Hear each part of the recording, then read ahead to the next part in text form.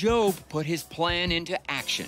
Knowing that Tony would go into the closet and pop out of somewhere else, Gob proceeded to lock everything he could find.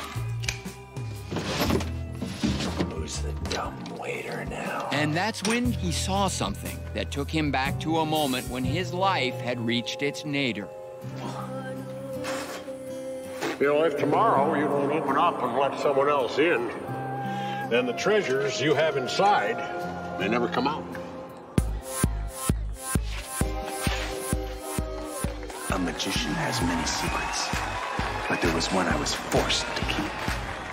By society. And Gob settled in to watch his revenge play out.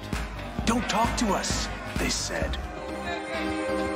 Keep your hands to yourself, they also said. Magic is only for straight men.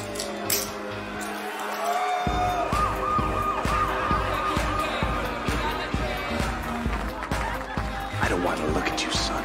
Just go to work. Why can't you be like your brother?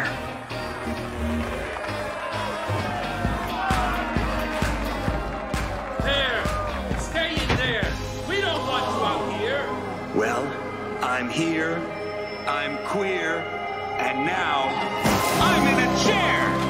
Did somebody say wonder? Nobody actually did that time, but I think he got away with it. didn't expect to see you here.